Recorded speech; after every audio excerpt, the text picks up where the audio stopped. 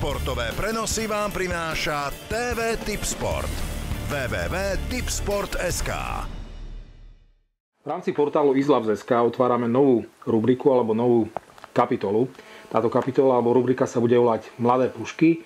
Keď prichádzam na zahraničné weby, americké weby, tak vidím tam také články, predstavujú najlepších juniorov, najlepších dorastencov a v podstate, keď sme sa bavili s ľuďmi od nás z Izlabu, že či by nebolo vhodné podobnú sériu článkov spustiť aj u nás na Izlabe, tak každý to podporil.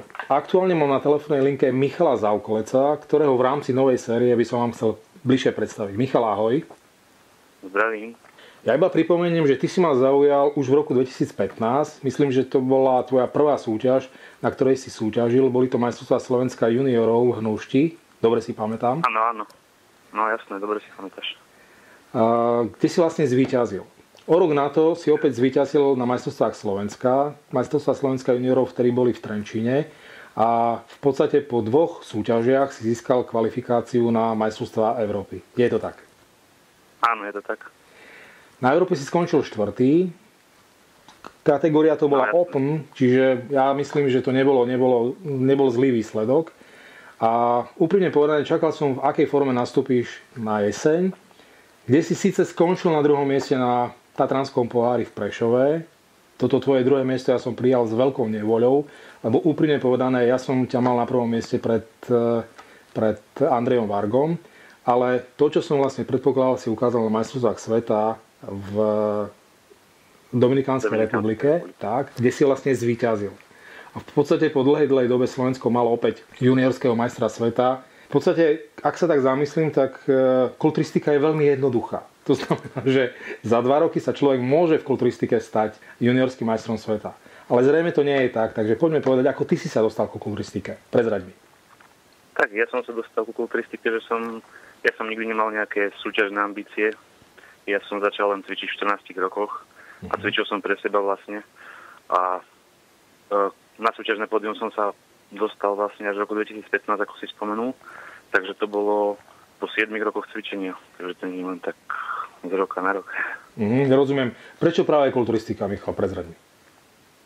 No ja som predtým hral futbal, len kolektívne športy maxi omrzeli, tak som sa chcel venovať niečomu, čo, kde pracujem sám na seba, tak asi preto. Uh-huh. Ty si pre mňa takou raritou z toho dôvodu, že mnohí súťažiaci súťažia už ako dorastenci. Ty prečo si nesúťažil ako dorastenec?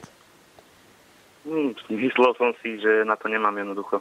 K súťaženiu som sa dostal takým spôsobom, že, že okolie vlastne reagovalo na mňa, že, že na to vlastne mám a prečo nesúťažím. Tak to ma doviedlo k súťaženiu. Uh-huh. Ja som nemal nejaké ambície byť majster Slovenska v kulturistike. Vráťme sa v histórii o dva roky neskôr, do roku 2015, čo predchádzalo tvojmu prvému súťažnému vystúpeniu v Hnúšti. Ako vyzerala táto tvoja príprava? No, prípravu som začal, ja som začal tak dlhodobejšie, pretože uh, som bol troška taký viedený, ale začal som nejak v decembri a dietu som držal od januára, akože prísne čo som znižoval sacharidy a takto. Ale objemovú prípravu som začal v novembri. Veľkým tvojim súperom, alebo v podstate takým kandidátom na víťazstvo v Hnušti bol Roman Gora. Ja si pamätám na tento súboj. Tak ja som konkrétne v Hnušti nevedel, kto nastúpi, ale tú scénu som sledoval nejaké dva roky a vedel som približne, akí chalani tam chodia, tak išiel som s tým, že chcem medailu z tých majstrovstiev. Podarilo sa víťazstvo, to znamená, že cieľ splnený na viac ako 100%. No, nad, nadmieru. nadmieru. Mm-hmm. O rok na to už nikto nepochyboval, že mal by si na Slovensku zvíťaziť.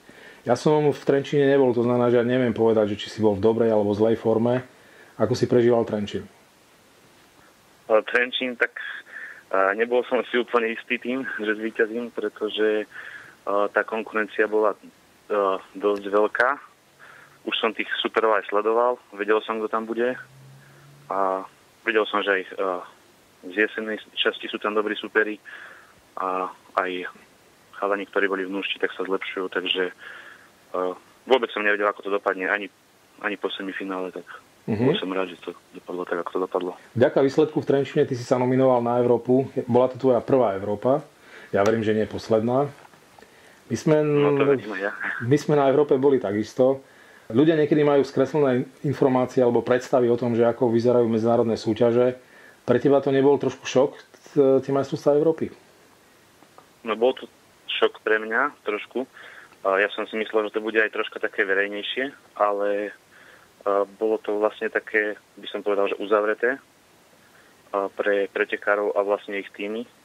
Bolo tam veľmi malo divákov, ale organizačne myslím si, že najlepšia súťaž v Santa Suzane, na akej som kedy bol, takže hodnotím to veľmi pozitívne. Jesen 2016 to bola súťaž v Prešove, kde si skončil na tom druhom mieste. Keď si nastupoval na súťažné pódium, ty si zrejme videl moju reakciu. No jasne, videl som. Trúfal si si na víťazstvo aj v Prešove? Tak ja som šiel do Prešova s maličkou dušičkou, aby som bol vo finále vôbec medzi tými mužmi, lebo vedel som, že, že tam budú také mená ako Varga, Boris Zorava, ktorí sú reprezentanti uh, typu, čo chodí na majstrovstva sveta, sú tam úspešní. Tak veľmi som mal obavy z toho, ako dopadnem. A bolo to naviac ešte veľmi skoro pre mňa. Ja som sa pripravoval až na tie novembrové, decembrové súťaže, ale tak bol som prekvapený. Myslím si, že som bol spokojný aj s druhým miestom. Ja nepôjdem proti rozhodnutiam rozhodcov, rozhodli tak, ako rozhodli, ale myslím si, že druhé miesto je fajn na začiatok medzi mužmi. Veľmi dobrá odpoveď. Príde Dominikánska republika. Um, vy ste cestovali mimo nás. Ja som vlastne prišiel o niečo neskôr ako vy, z toho dôvodu, že ja som bol ešte na amatérskej olimpii v Hongkongu. Ako prebiehala cesta do Dominikánskej republiky? Pýtam sa na to umyselne z toho dôvodu, že už bolo po voľbách a bolo jasné, že aktuálni e, reprezentační tréneri končia na svojich postoch. Tak cesta si myslím, že bola v poriadku. Neboli tam žiadne nejaké veľké problémy. Atmosféra bola taká uvoľnená. Takže fajn. Žiaden problém. Samotná súťaž. Nie, že... ako si prežíval ty súťaž? súťaž, súťaž bola fajn, len čo sa mi nepačilo tam v tej Dominikánskej republike na, na to, že to boli majstrovstvá sveta, tak uh, uh, veľmi zlá organizácia vo volaní pretekárov tam v tom backstage. Napríklad uh, volali dievčatá a uh, ani neprišli zavolať do ženskej šatne. Ale inak uh, súťaž sa mi páčila, bolo to v takom obchodnom centre. Uh, divákov tam tiež priveľa nebolo, ale no, fajn myslím si, že podmienky boli pre pretekárov veľmi dobré. A bolo to tam dobre vyklimované, takže aj mm. teplota dobrá. Tam bola strašná zima. Prechladol som a druhý deň som kašľal tam ako taký somár, takže oni to s tou klimou prehnali. Poďme na to oceňovanie výťazov. Ja som tam s tebou spáchal taký nejaký kanadský žartík, takže čo to tam vlastne som s tebou stváral? Povedz. no, no pos, už po semifinále si mi ukazoval, že budem že ma vidíš na nejakom druhom, treťom mieste. To som bol veľmi rád. No a pri samotnom vyhlásení si mi ukázal, keď sme vyšli vlastne finálová šestka, na pódiu si mi ukázal, že som skončil tretí. Ja som sa pomýlil, ja som chcel ti ukázať, že si štvrtý. Ja som sa bol pozrieť na výsledky a vedel som, že na akom mieste si. A v podstate v tom šoku, v tej rýchlosti som ti chcel ukázať 4, ale ukázal som ti 3. Tretie miesto, tak ja som sa potešil. Mm. No len postupne ako vyhlasovali, tak som ostal dosť v šoku, keď vyhlásili tretieho a zrazu aj druhého Čecha. Tak som bol dosť z toho prekvapený, som ani nevedel, čo sa deje. Čo, bolo to zaslúžené, v podstate ja tam nevidím žiaden problém. To prvé miesto ti, ti právom patrilo. Tak proporčne tam bol veľmi dobrý Čech. A Turek bol dobre pripravený, ťažko hodnotiť, ale som rád, že to dopadlo tak, ako to dopadlo. Rozhodcovia rozhodli, čiže mm, akceptujeme, to je to na medzinárodnej scéne. To znamená, že každý výsledok, ktorý je dobrý pre slovenského reprezentanta, sa počíta. Um, zaujímalo by ma, ako sa ti darí zladiť prípravu s tvojim osobným životom alebo civilným životom. Čím sa vlastne v civile zaoberáš? Uh, no ja pracujem na tri smeny, takže je to také, no tá príprava nie je úplne taká, aká by mala byť keďže nemám nejaký stály režim. Mm-hmm. Ale na osobný život moc času nemám. No. Iba fitko, práca, doma nejaká. Mhm, tvoji najbližší, ako sa k tomu stávajú? Z toho dôvodu, že tá kulturistika je veľmi náročná. Povedzme, že ani nie tak na financie, ako na, na ten čas. To si sám pripustil alebo priznal. No jasne. Tak stávajú sa k tomu Z začiatku rodičia neboli moc nadšení, akože že súťažím v kulturistike, pretože sa ten pretekár vlastne v tej príprave trápi aj s odriekaním mnohých vecí. Ale tak časom si ja už ma podporujú, takže je to fajn. Uh-huh. Priateľka, máš, nemáš? Nemám priateľku. Počkaj, to znamená, že ty na to právo ešte len čakáš, tak? Presne tak. Tak dúfam, že príde. Keď porovnáš Zaukoleca v súťažnej a mimo súťažnej forme, aký je tam rozdiel?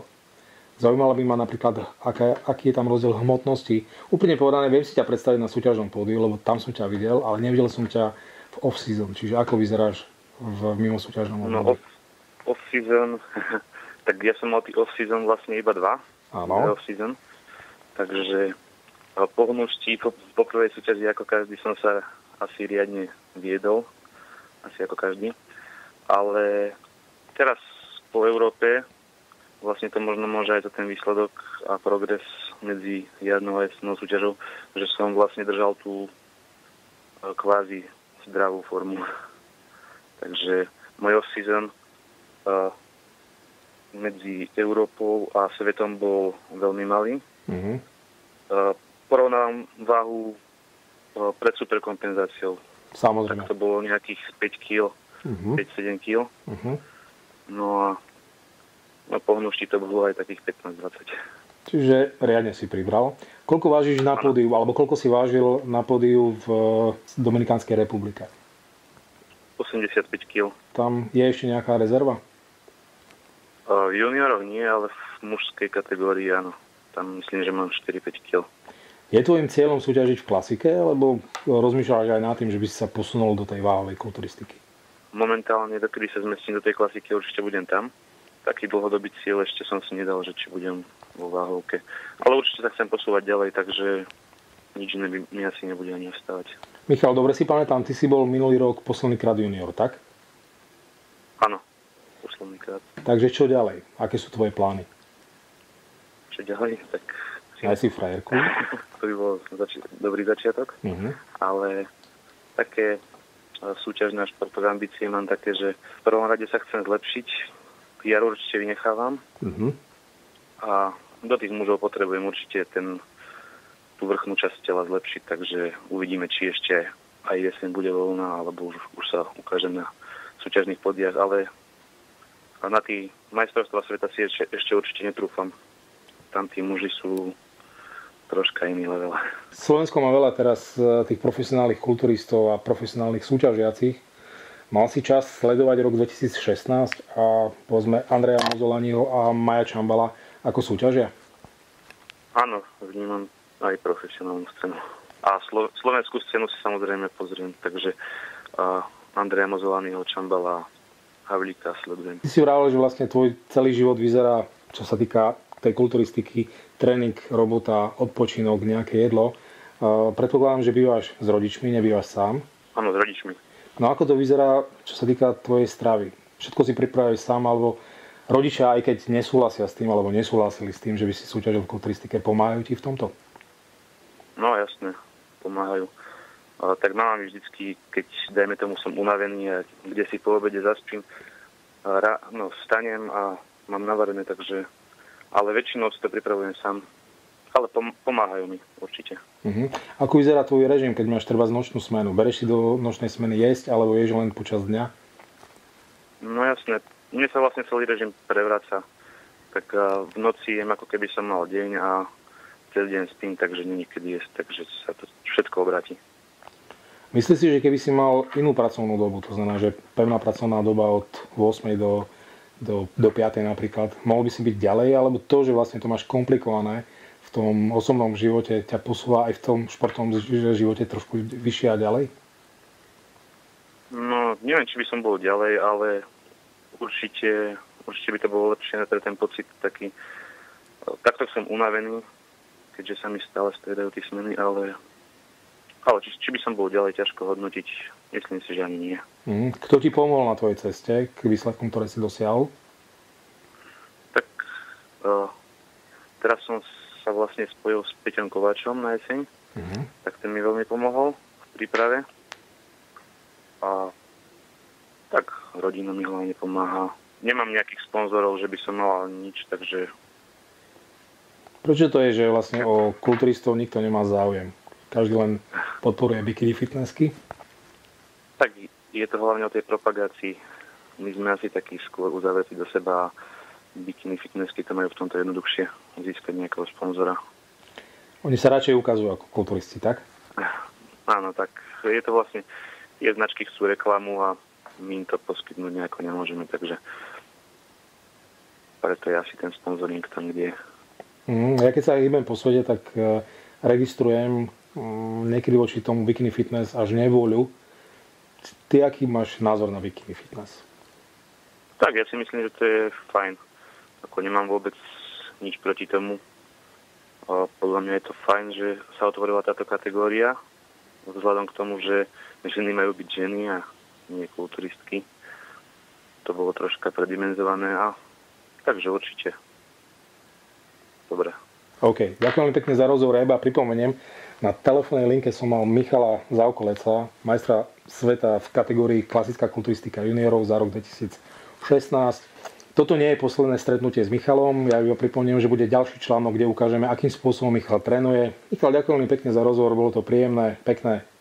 Ja ďakujem. Vieš dobre, že ja, ti, ja ťa podporujem, držím ti palce. No a teším sa, že nastúpiš na súťažné pódium a teším sa, že budeš lepší, ako kedy som ťa videl naposledy e, v Dominikánskej republike alebo napríklad v Prešove. Prešove. Tak, prajem všetko Ďakujem dobré. veľmi pekne za rozhovor. Second place, athlete number 38 from Chechnya, Jakub Prashad. And the winner, first place, number 29 from Slovakia, Michael Sakole. Desde Eslovaquia, ganador del primer lugar con el número 29, Michael Sakole.